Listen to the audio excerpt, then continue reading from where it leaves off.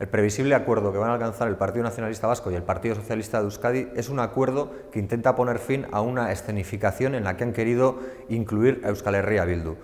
Creemos que ese acuerdo solo responde a las necesidades e intereses de ambos partidos y de las clases dominantes, pero que en ningún caso responde a los intereses de la mayoría de la población, a los intereses del conjunto de la ciudadanía de Euskal Herria. Creemos que la eh, posibilidad de acuerdo entre el PNV y el PSE está basado en, eh, en, el mantenimiento de un modelo económico y social, el modelo neoliberal, que ha llevado a los ciudadanos y ciudadanas de este país al abismo. Creemos que ese acuerdo solo pretende salvaguardar los intereses de las clases eh, dirigentes en contraposición a las clases populares, a los trabajadores y trabajadoras. Y creemos que ese acuerdo lo único que hace es ahondar y profundizar en un camino de desigualdad y en un camino que sigue por la vía de los recortes y las reformas castigando y precarizando a los ciudadanos y ciudadanas de nuestro país. Es el momento de poner a las personas en el centro de nuestra actividad política y no de situarlas eh, al margen y como mercancía para satisfacer las necesidades económicas de unos pocos, que es lo que el PNV y el PSE parece que siguen estando dispuestos a hacer para contentar a quienes mandan.